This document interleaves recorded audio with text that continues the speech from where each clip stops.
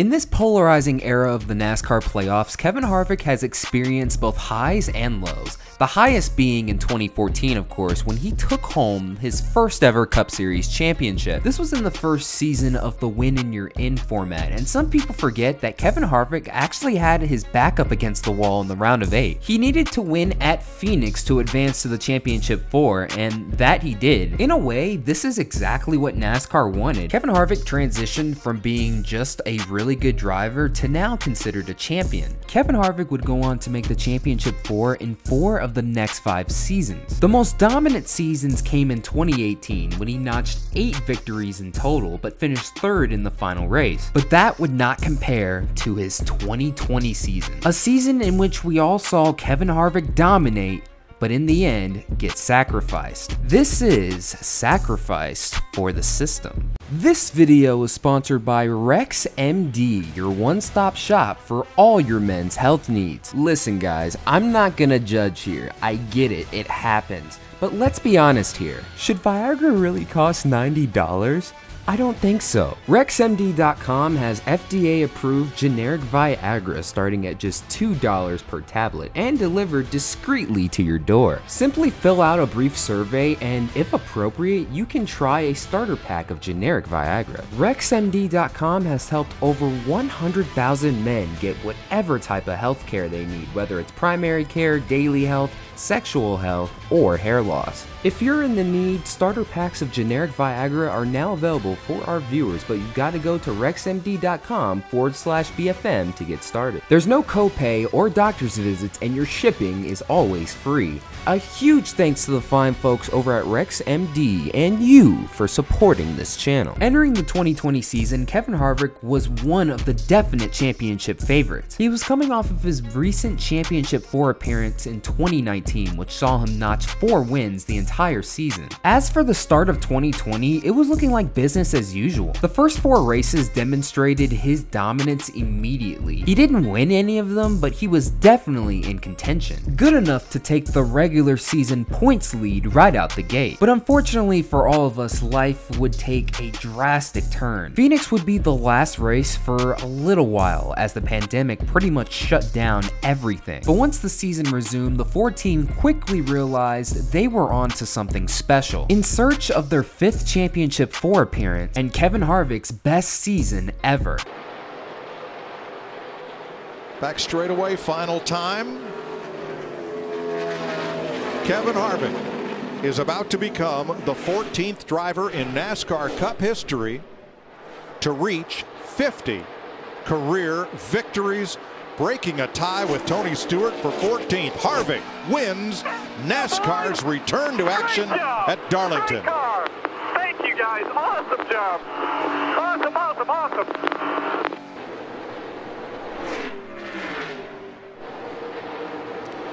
We'll light that candles on Rodney Childers' birthday cake because Kevin Harvick wins Atlanta. Great pit stop and what? I don't know what you guys did to this thing at the end, but great job. Kevin Harvick right now is still paying tribute and, and waving to the fans in his own Yep. way and paying tribute to Dale Earnhardt. Have a feeling every time he wins here, Mike, this is going to be something we're going to see out of Kevin Harvick. Harvick did break the draft going down Long Pond straightaway. Hamlin unable to gain ground in the short chute. For the final time and on to the front straightaway. Kevin Harvick at Pocono finally is a winner. Job. Way to see the strategy. What a, what a, what a turnaround. Great job, guys. Awesome. Thank you. Harvick, Denny Hamlin. They've been the dominant two cars all of 2020. Hamlin crashes out as they were battling for the lead. Now Harvick trying to go back to back at the most fam famous racetrack in the world. Coming out of turn four, Kevin Harvick is going to see the checkered flag. He wins again at the Brickyard. Brickyard 400. Awesome job. He won a week ago at New Hampshire. His third win of the season. Now doing everything he can to catch up to the four of Harvick. Harvick has been dominant. Two of the last three races, he's going to make it three out of four. Harvick's going to win again at Michigan. And that'll do it. Good job, boys. Thank you. What a car. And right now, Kevin Harvick looking to sweep the weekend. Denny Hamlin's going to have some momentum on the high side. Will it be enough as they come out of four the final time? Kevin Harvick is going to sweep Michigan. He wins again. The final time. Harvick out front. Truex running second. Jimmie Johnson trying to hold on to third after pit strategy. Just a two-tire stop. Put him up front. Kevin go, that'll do Harvick is going to win. He sweeps.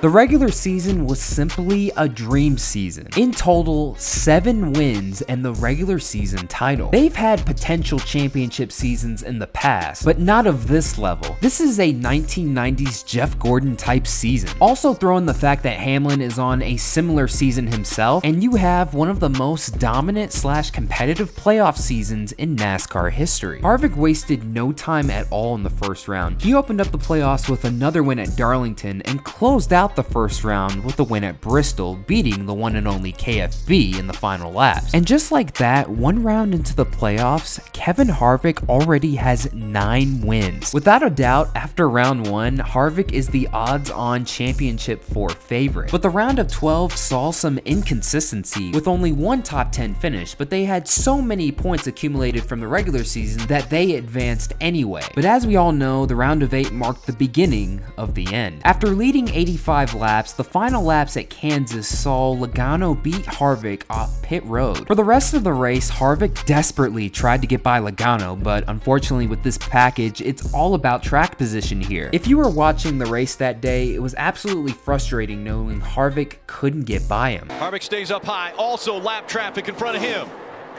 Through three and four for the final time. Joey Logano's going to win again in 2020. This time, Kansas.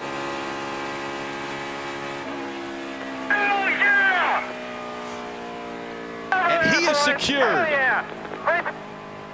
The championship four again. Logano's win advances him to the championship 4, but certainly no time to panic over on the 4 team. It was a frustrating finish for sure, but in the end, you still bagged some second place points as well as some stage points, and now sit 41 points above the cut line. The next race is Texas, where the team has demonstrated their dominance plenty of times, but unfortunately, Mother Nature would have other plans. Denny was running fourth when he went up the racetrack, lost a lot of positions. Now, a big run by Alex oh! Bowman, and Harvick's into the wall. Harvick tags the outside Hold your line, wall. hold your line, hold your line. Hold your line, hold your line. Might have a... Harvick trying to keep it at speed. Two favorites all season, Denny Hamlin, Kevin Harvick, both having issues in the same part of the racetrack. He's going to have to pit right here. Yeah, huge contact for the Ford Jeff. The right side flat, the Goodyear lettering miss, missing off both right side tires. He, Right side flat.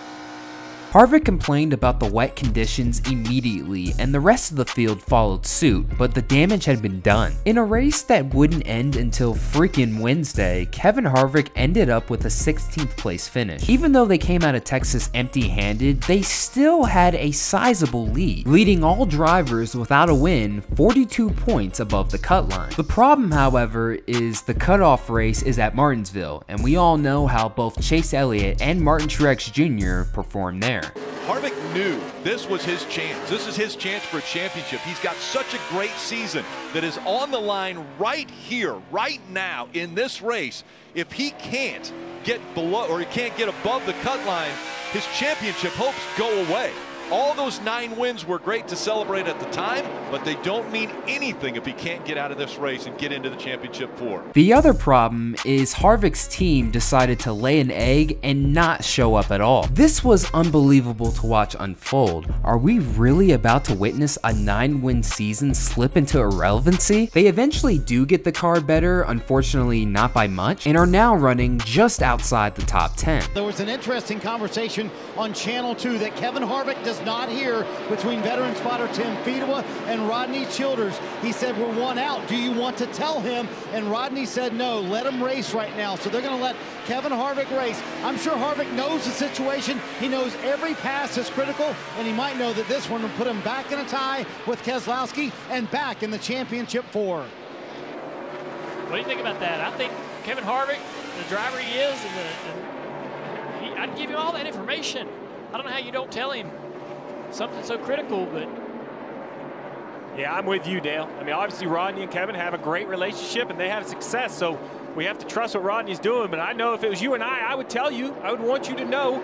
I know you're doing all you can, but give you every bit of information I have. The closing laps have gotten extremely intense. At this point, Chase Elliott is a lock to advance to the championship four. Kevin Harvick needs to pass two cars in five laps. Once he gets by Matty D, he has his sights set on KFB. You can view what happens next in two ways, either as pure entertainment or a complete embarrassment. Chase Elliott through three and four. He is going to win his way into the championship four. Elliott wins at Martinsville.